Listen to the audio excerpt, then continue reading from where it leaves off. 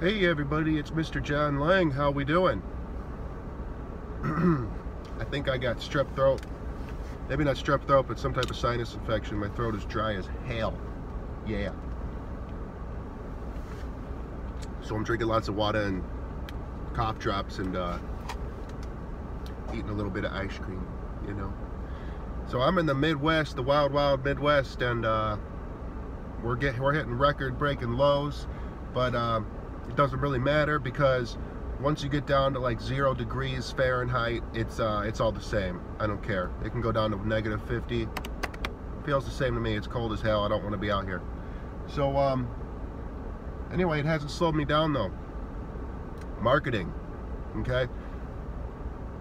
Marketing is seriously like the most important thing you can do. It's it's what it's like something you always got to be doing before anything else.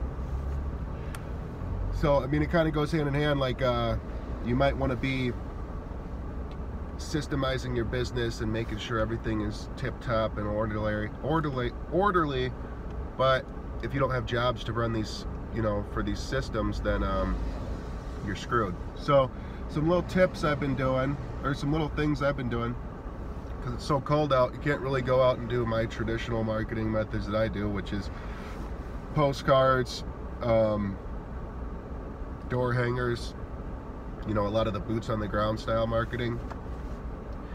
Um, I've been hitting Facebook a little heavier lately. Um, I'm trying to post at least daily on my Facebook, and it, it comes with some challenges because it's like, what do you talk about? But there's some things you should know. Um, there's a huge, there's a lot of mistakes people make when they are posting on Facebook, okay? Every single post is trying to sell something, trying to run a type of ad or a type of special or, um, you know, if you like this post, you're entered to win a $25 gift card, and there's nothing wrong with that. But if all you do is post stuff like that, it becomes very annoying, and uh, it's like people roll their eyes. They're like, "Oh, another special," you know. And then it's like, why? Why would we even pay full price for a service? Because all they do is run specials. Um, so you gotta be careful with that. You can't just run specials all, all the damn time. Um, you should use your face, your business Facebook in a way like your personal Facebook. Not, you know, don't get political or nothing crazy like that. Sorry, I'm squinting. The sun is right in my eyes. Um, but you'll want to uh, just you'll want to add value. That's the trick. Okay, so you'll want to post stuff like um, for a good one for me, one that was very successful was I, I offer window cleaning. So I uh, I posted a picture of this spray away can, this can of spray away.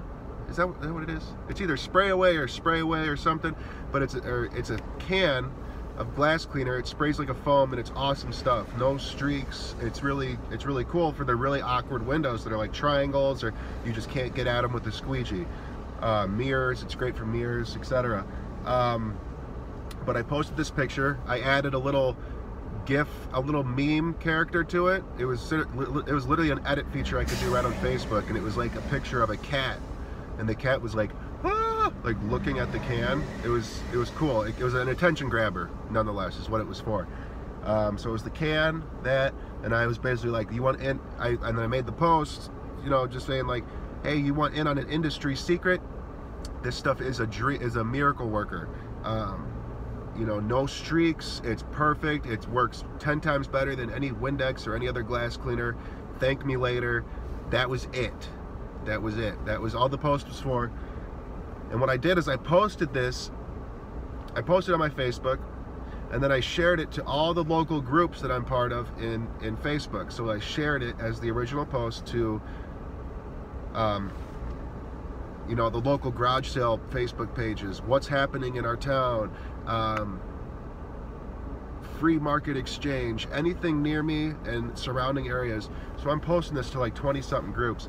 And here's the kicker is this, the post was allowed. The post stuck on those pages because what it is is I'm adding value to the groups. I'm I'm I'm sharing that this product is really awesome. Let's talk about it. It's really cool. You should go buy some You know, I had people jumping on there vouching for it, saying, yeah, that stuff is awesome. I had people jumping on there asking where they could get it. I had people engaging like crazy. And just because of that, they're like, who the hell is this guy anyway? And they're going to click on the page. And I had tons of people liking my page from it too. So you got to run stuff like that and get a little creative because if you just post, hey, we're running a special, uh, $25 off for anyone who comments on this, um, and then you, you share it to groups, you might, it might work, you might get through to a few groups, but at the end of the end of the day, a lot of these moderators for these Facebook groups are going to just block you or delete your post because they it's clearly written in their rules you cannot you cannot advertise your business. Okay, so you got to do it in a creative way where you're not really advertising it, but in a way you are because people are seeing you, and that's what counts. Um, most recently, I did one where I shared a blog about the black streaks on a roof it wasn't as successful because people don't know much about that stuff. And I had I had I, I, don't know what the deal is but I had a bunch of like conspiracy theorists hop on there. There was an old guy saying uh, oh this was never a problem back in my day. And then another guy saying um, this is clearly from the chemtrails. You never saw this stuff 60 years ago. I'm like what? Chemtrails? You guys believe in that shit? Sorry it's ridiculous though. But all right, that was it. I actually got some stuff to do, filling out paperwork, and I'm a busy bee, y'all. I'm a busy bee. But uh, I wanted to make a post while I'm sitting here, and uh, we'll put it, put it on the YouTube. Okay? Hey, like, share, subscribe, and if you don't, you're dead to me.